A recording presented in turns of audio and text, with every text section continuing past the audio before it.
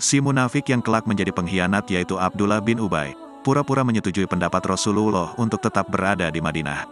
Sejatinya ini hanya tipu daya dirinya, agar jika ia tidak ikut berperang, maka perilaku munafiknya itu tidak nampak. Rasulullah kemudian menyetujui pendapat para sahabat beliau untuk keluar Madinah.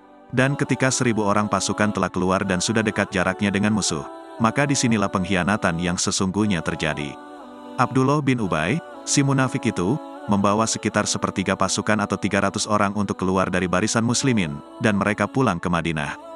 Di saat genting seperti ini, sejatinya yang diinginkan oleh Abdullah bin Ubay adalah menanamkan rasa keraguan dan kekacauan di hati para kaum muslimin, sehingga sebagian besar dari mereka bisa ikut pulang bersama dirinya.